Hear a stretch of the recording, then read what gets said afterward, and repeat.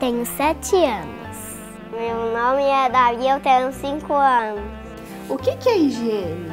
Higiene é natureza, é o lar que a gente respira, É o mar. muitas coisas. E lavar o pé é higiene? Não. Não? Bom, a água, ela limpa o nosso pé, só que Só sai um pouquinho de terra.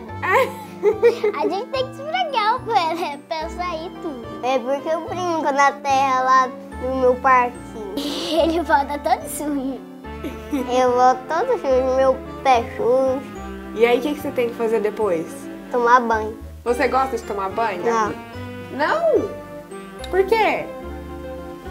Tem toda hora tomar banho. De noite minha mãe fala, tá mãe, banho.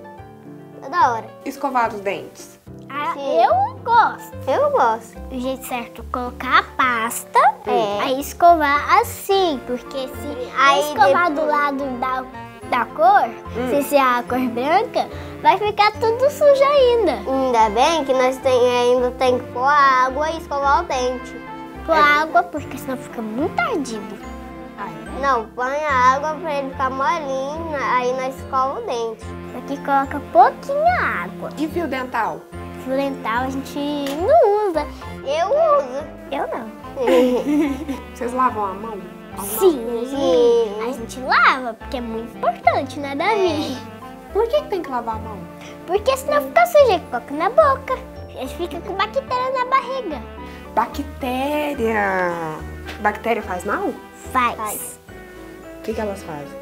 Ah, Ela fica dentro do estômago, aí fica Bater. É a... rodando, aí É. fica.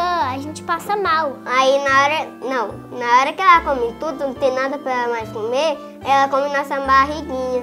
Na hora que pega um- alguma coisa pura, mi- aparece uma minhoquinha. Dentro da barriga? Sua barriga tem minhoca?